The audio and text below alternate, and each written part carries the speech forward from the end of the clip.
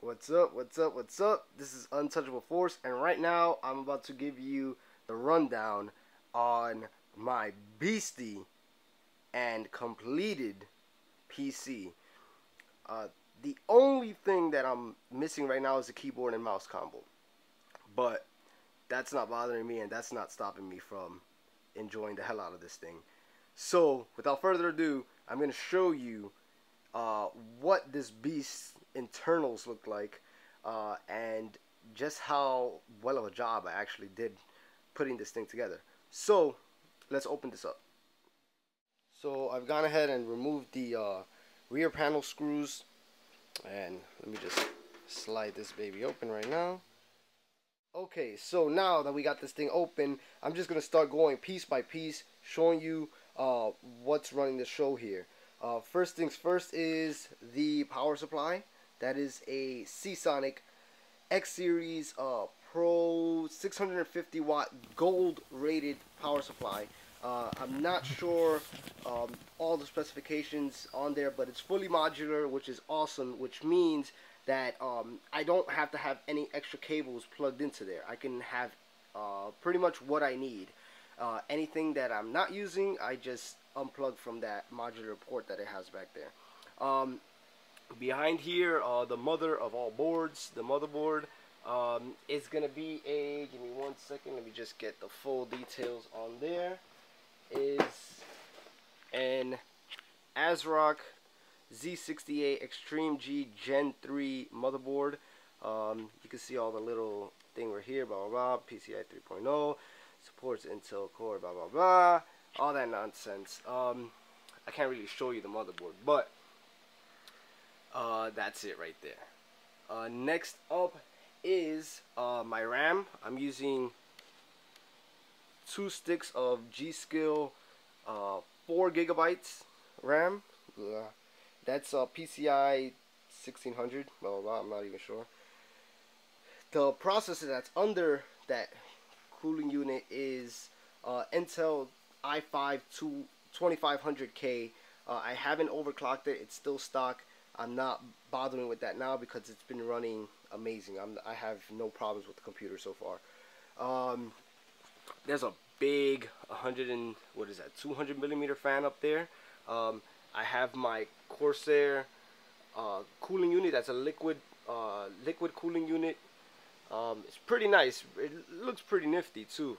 Um, so the cooling liquid runs through these tubes here and it exhausts right here. It's really cold. It's pretty cool.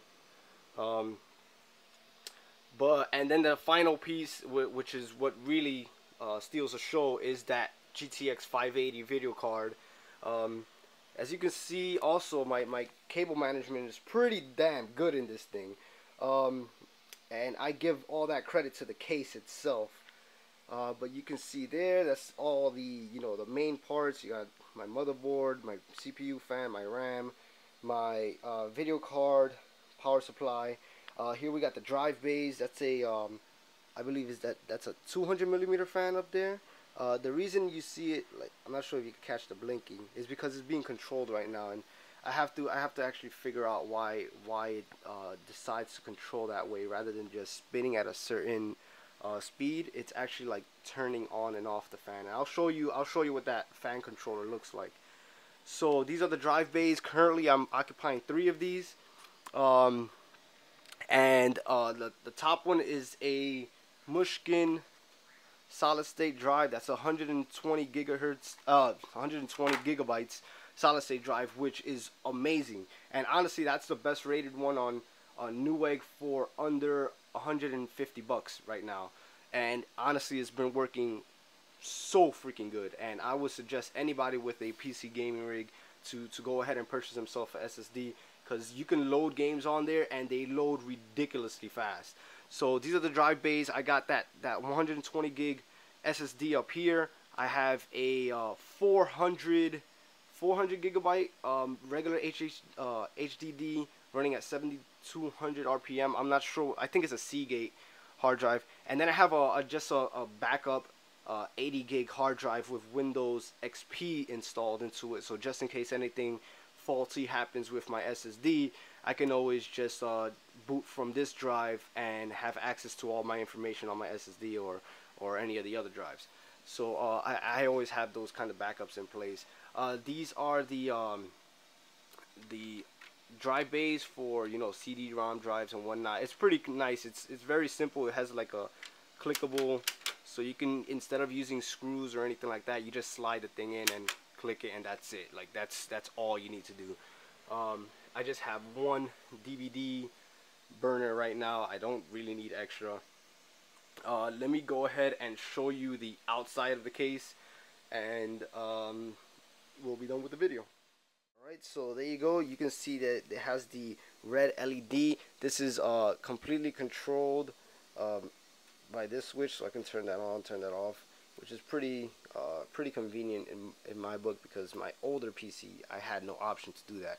Uh, also, I've installed this uh, fan controller, which is pretty nifty. Um, it's just really there for show, in my opinion.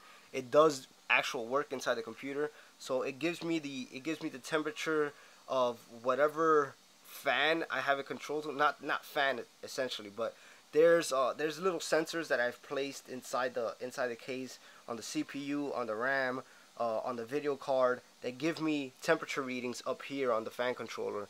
So if I tap this, it'll give me, I believe that's the RAM, and that's the video card if I'm if if I'm not mistaken.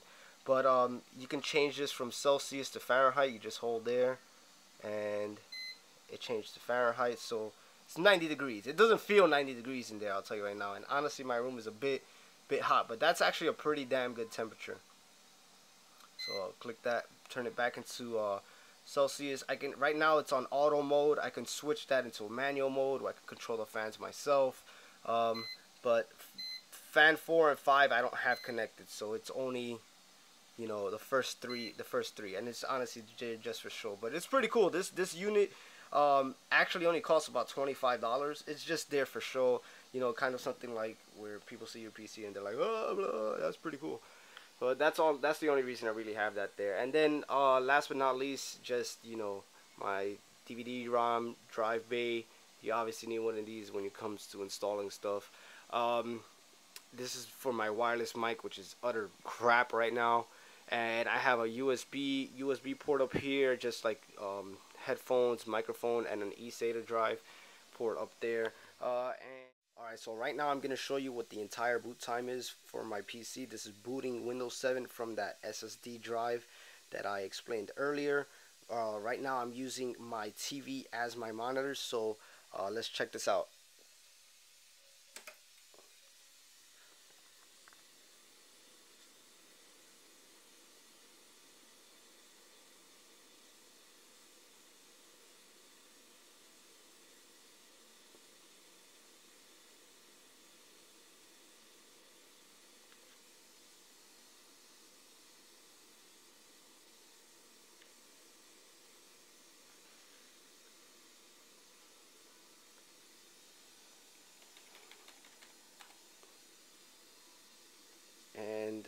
That's pretty much it. I can already start booting programs It's a web store, browsing online.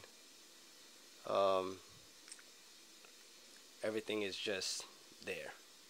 Alright, so thank you very much guys for watching the video. Um, please, if you like the video, rate, comment, subscribe. Ask any questions if there was anything that I didn't go over or if you have any tips for me or anything like that, just feel free to um, place them down in the comment section. Uh, Alright guys, thank you very much for watching. Untouchable Force, peace.